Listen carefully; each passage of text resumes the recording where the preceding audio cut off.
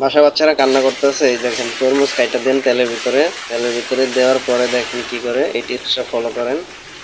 দেখেন, এই যে তেলটা পুরো কালার হয়েছে।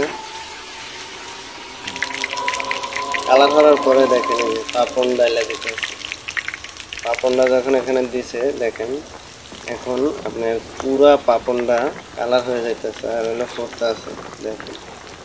বাচ্চা মানে বাচ্চা কান্না করলে থামাইতে যা লাগে বাসায় করে ফেলাবেন নিজে নিজে টিপসটা খালি ফটো ফলো করেন। দেখেন, এই টিপস বাসায় ফলো করলে বাচ্চা কান্দার কোনো উপায় নেই। দেখেন, কত সুন্দর দেখেন কালার হয়ে গেছে। দেখেন, সবাই বাসায় চেষ্টা করবেন।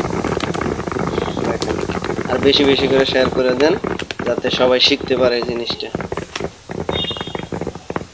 দেখেন অল্পতেই খুশি বাচ্চা